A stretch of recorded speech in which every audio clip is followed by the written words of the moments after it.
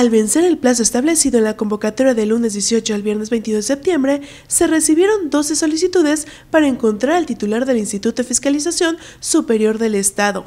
El diputado René Yervidibarra, presidente de la Comisión Legislativa, dio a conocer a las y los integrantes que las personas que se inscribieron son 12 solicitudes, te las enumero a continuación.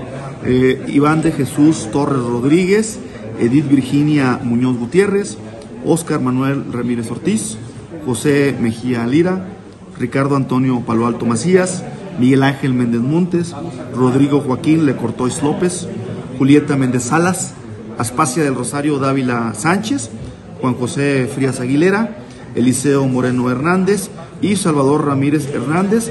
Los 12 son profesionistas. El calendario quedó acordado por unanimidad de los presentes de que se votó el próximo miércoles 4 de octubre. Va a ser aquí mismo en Jardín Hidalgo, aquí en este mismo salón donde estamos sesionando. Vamos a llevar a cabo el ejercicio. Y bueno, el horario iniciará a las 9 de la mañana en tres bloques de cuatro, eh, cada uno de cuatro participantes cada bloque. Y la idea está programada para terminar a las 7 de la noche. Ante ello, la Comisión de Vigilancia del Congreso del Estado se declararon en sesión permanente para desahogar el procedimiento de elección de la persona que ocupará el cargo de auditor o auditora. También acordaron que el próximo miércoles 4 de octubre se llevará a cabo las entrevistas con el siguiente formato.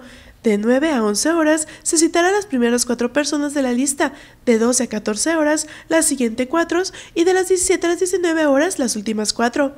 Se dará tiempo entre bloque y bloque ante la posibilidad de que algún exponente se extienda en el tiempo. Se extenderá la invitación al resto de los integrantes de la 63 legislatura para que acudan sin voz ni voto.